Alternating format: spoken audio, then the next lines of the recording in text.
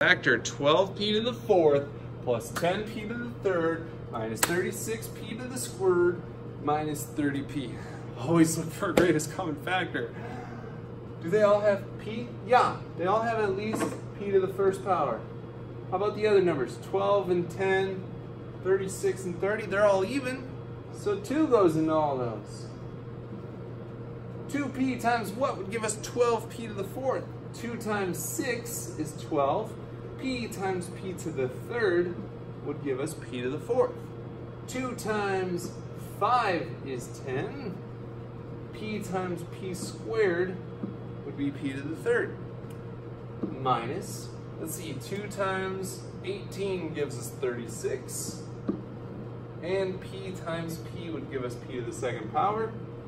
Another minus, 2 times what gives us 30? 15. And We've already got P. We don't need any more P. What are you, a, a toilet? if you scream out banana right now, I'll give you a plant dollar. If you're the first person. If you're the second person, no dice. Um, so the 2P, or not 2P, that can just hang out until we're until we're all done. You hang out until later. We'll pick you up later.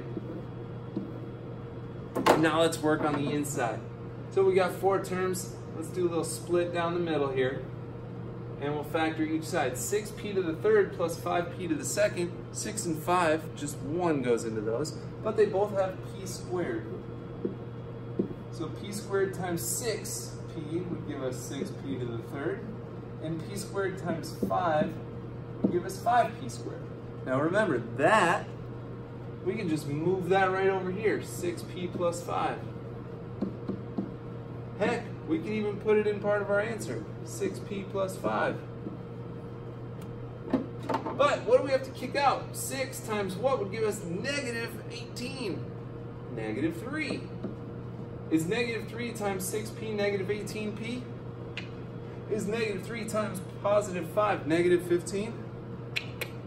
So the other set of parentheses then would be p squared minus 3.